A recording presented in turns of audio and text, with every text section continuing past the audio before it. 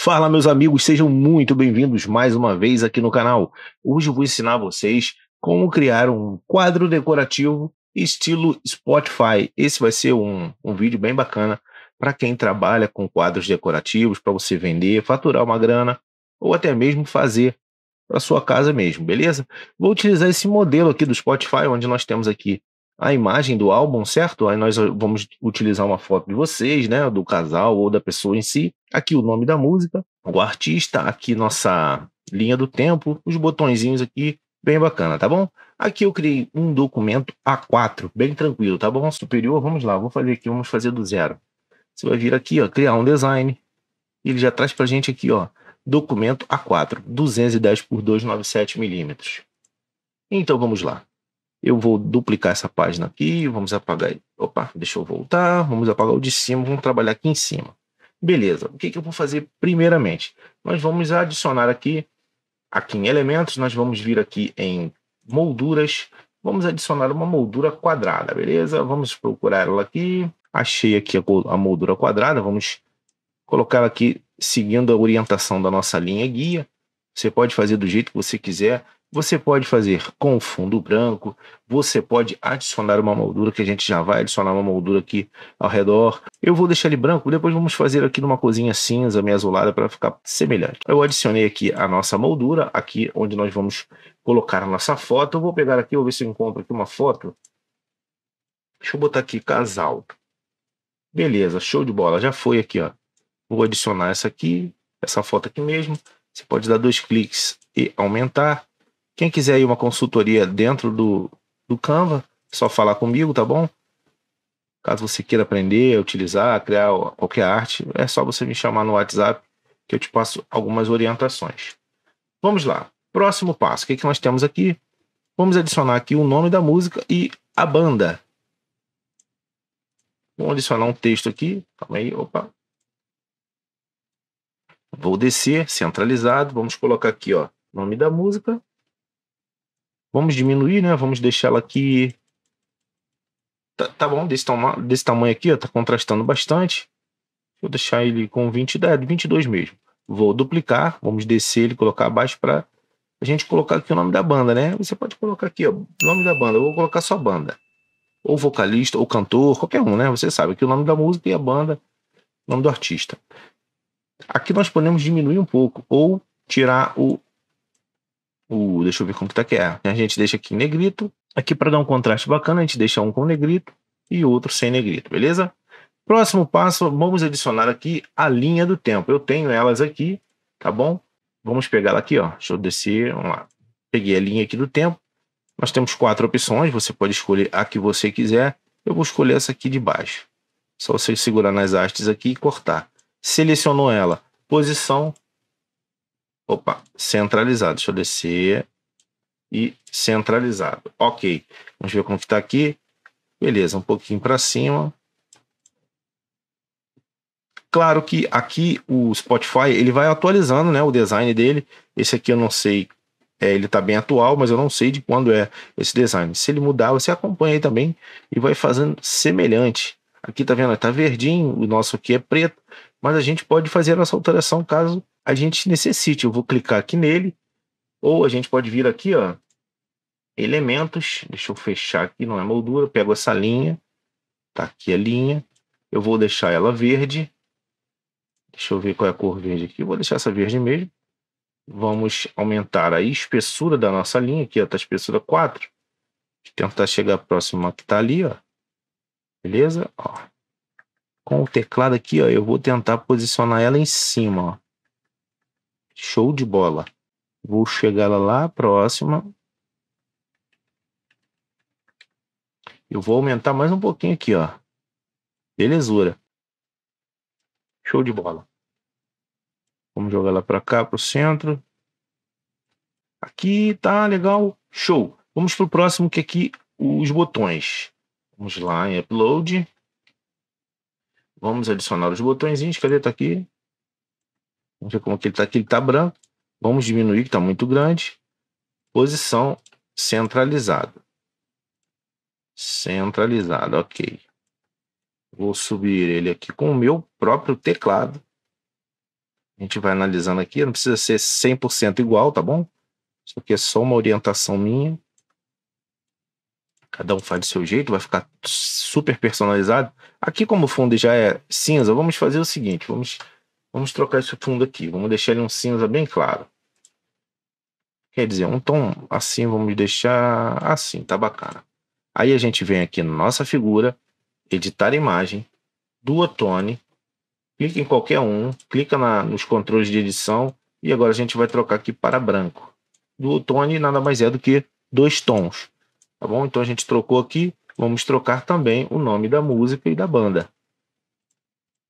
Show? Vamos ver como está aqui, branco.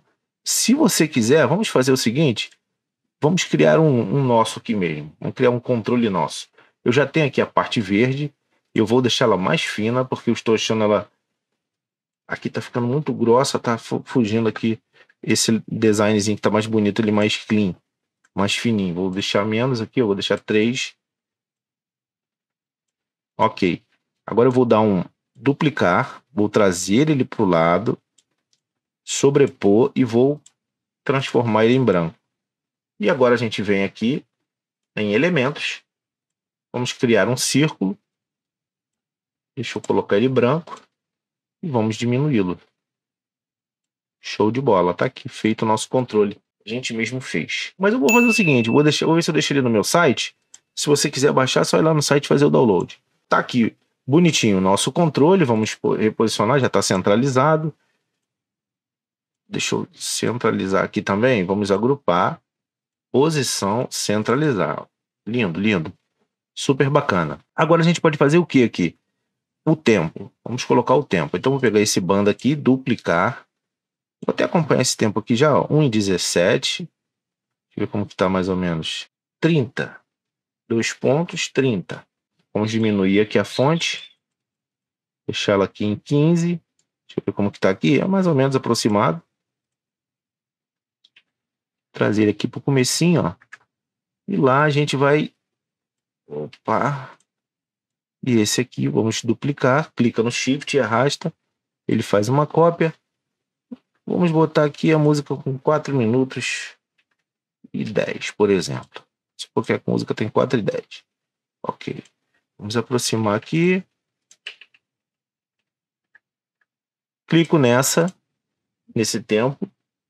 Shift pressionado clico novamente, deixo as duas selecionadas e centralizo as duas. Para copiar, eu falei Shift, mas é Alt. Segurou o Alt, você clica no objeto que você quer, segura o Alt e arrasta para ele fazer uma cópia. Então, nós já temos esse aqui em cima. Veja que aqui também ele traz a hora, tá? o nome da música também aqui em cima.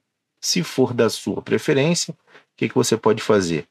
Vamos fazer aqui, vamos fazer semelhante. Vamos descer o nome da música e banda Lá em cima tem Magic, né? Que seria o nome da música. Então vamos pegar o nome da música e vamos jogar lá em cima também. Vamos descer aqui o nosso, a nossa imagem. Nome da música, tudo centralizadinho, bonitinho, alinhado. Vai ficar 100% legal. Show de bola. Então nós temos aqui, ó, a tela bem semelhante. Diminuo aqui para vocês verem as duas. Ficou bem bacana para você imprimir, para você fazer o teu quadro decorativo Está sensacional. Isso aqui você pode utilizar dia dos namorados, casamento, foto mesmo, é, você sozinho, criança. Você pode depois, vou fazer outros vídeos aqui de desenho animado, que dá para você fazer também quadros decorativos e eles ficam bacanas. Então vou vir aqui em 28%, vou deixar ele inteiro. Vou apagar esse aqui para a gente não confundir, vou deixar só esse aqui para a gente trabalhar com ele. Agora vamos fazer aquela moldurazinha. Vou clicar aqui em linhas e formas, já está clicado em elementos, linhas e formas. Vou jogar ele lá em cima Vou trazer até aqui embaixo. Vamos tirar a cor. Vamos dar uma espessura aqui de 10. E vou deixar preto mesmo. Show de bola. Isso aqui num quadro com uma moldurazinha fica sensacional. Você também pode imprimir em forma de adesivo e colar no MDF também, pendurar na parede. Vai ficar também incrível. O que, que a gente pode fazer agora? Terminou de fazer o seu quadro decorativo, você pode vir aqui também, olha, vamos fazer um teste, vamos pintar de branco. Fica bonito também, tá bom? Você colocar uma moldura fica também sensacional. Pode colocar um cinza aqui mais escuro que a borda ao invés de preto 100%, ó.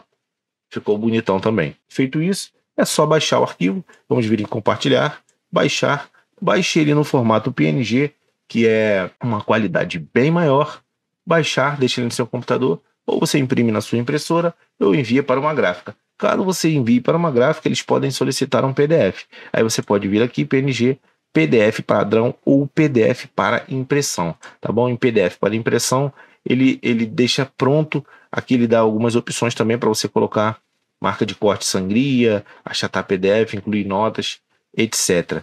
Perfil de cor, você vai vir aqui, ao invés de deixar RGB, você põe CMYK, tá bom? Ideal para impressões profissionais. Agora vamos fazer o seguinte, vamos baixar esse elemento, tá bom? Vamos baixar ele como PNG, você pode baixar em qualquer pasta, e nós vamos aplicar ele no mockup que você vai ver que vai ficar muito bacana.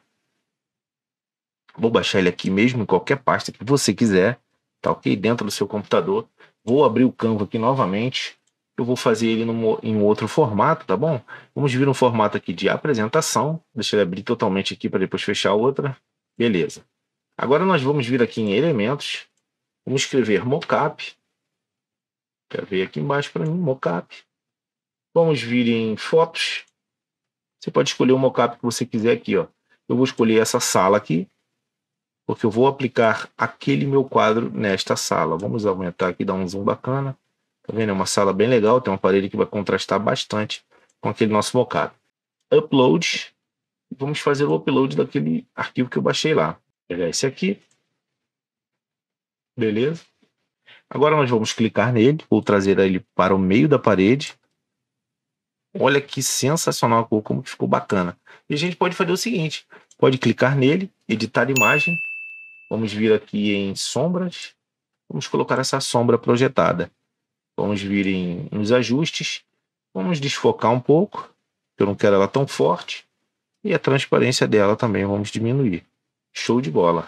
Olha como que ficou bacana. Isso na sua casa, numa parede, você fazer para dar de presente. Criar outros formatos também, que são hoje em dia o que mais tem são quadros decorativos. Você pode economizar uma grana aí. Ao invés de você comprar, você mesmo faz o seu. Tá bom? Espero que vocês tenham gostado desse vídeo. Vou trazer mais conteúdos para você poder fazer uma renda extra aí, vender um quadro decorativo que está super na moda. E quem quiser dicas específicas, só deixar nos comentários. Não deixe de dar o seu like e se inscrever no canal caso não seja inscrito. Um grande abraço e até o próximo vídeo.